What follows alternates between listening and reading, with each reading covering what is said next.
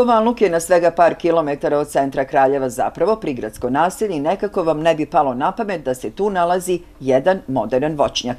Slavko Lazarević, mašinista po struci, se tim pozivom nikada nije bavio. Iz privatnog biznisa sticajem okolnosti je došao na očevinu, upravo na ovu plantažu.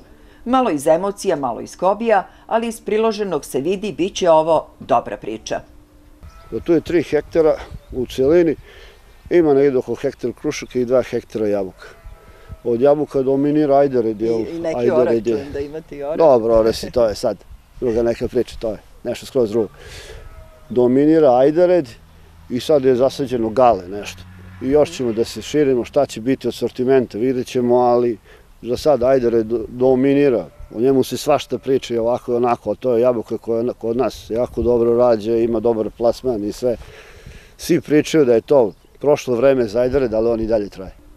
Svojih tri hektara pod jabukom i kruškom naš sagovornik smatra ozbiljnim poslom, jer u svemu što je radio, kaže, imao je osjećaj za biznis i meru, ali i veliku odgovornost. Iz tog razloga je krenuo parcijalno u obnavljanje plantaže po najnovijim standardima, vidimo i protivgradnu mrežu.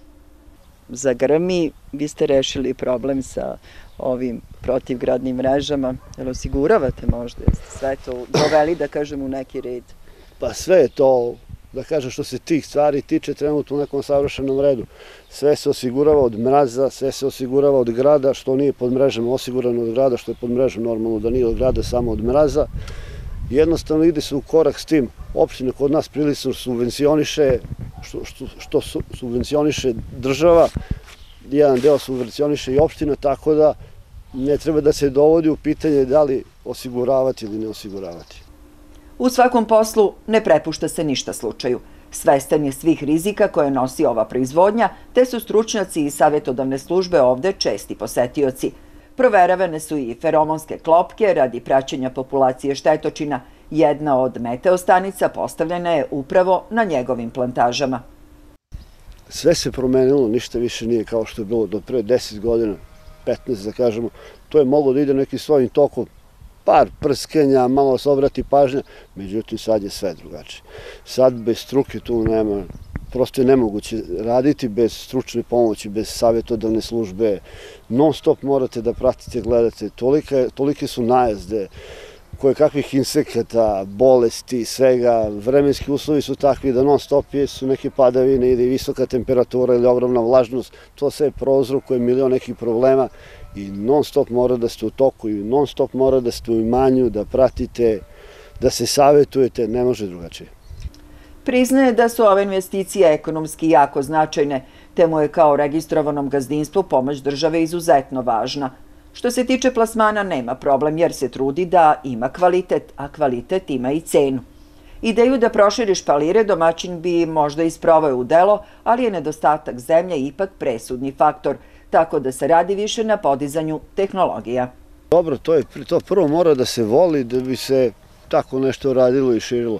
Obnovljamo star, ne širimo se nešto puno, jer ovdje nema prostora za nove zasede, ipak je ovo prilično urbana sredina za neku poljoprivredu i to, ali opet dozvoljava da se radi.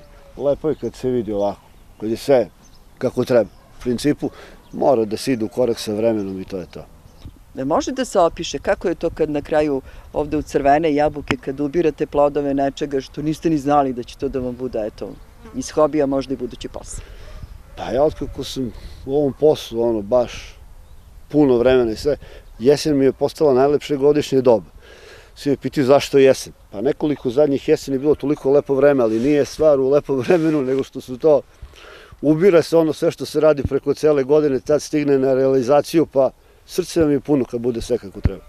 Naš sagovornik voli ekstremne sportove. Jedan je od najpoznatijih paragliding sudija, gde upoznaje ljude različitih pogleda, kultura, profila, zanimanja i gledanja na svet. Ono što su konstatovali stranci, ali i on sam ističe perspektive, da Srbija izgleda više nego božanstveno. Od gore je sve mnogo lepše, od gore je sve lepo i zeleno. E sad kad siđemo dole, koliko je tako, to je znak pitanja. Ali Srbija je prelepa, nema tu nikakve priče. I od gore i sa zemlje. E, neki savjet mladima? Mislim, vi ste relativno kasno ušli u ovu priču, da kažem, opet kao neka ozbiljna formirana ličnost. A klinci koji ne znaju šta će sa sobom? Klincima je teško da se odlučuju za ovako nešto. Ovo je lep posao koji mislim da ide s godinom. E sad ne mogu to, ne može sad da se bira posao kojim će se bavi u 50 godina, normalna stvar, mnogo to mnogo ranije se radi. Jednostavno, ako imaju afinitete prema tome, ako imaju ljubavi prema tome, samo napred. Nedavno je kupio i malu plantažu oraha, kaže neka druga priča. Ipak ponosno nam na kraju reče da su obojica sinova naklonjeni sportu i voćarstvu. Naime, Petar i Đorđe su odlični studenti na Poljoprivrednom fakultetu.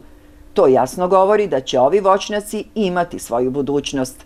A to je valjda negde i najvažnije. Obećavamo dolazimo u berbu da vidimo plodove rada i znanja.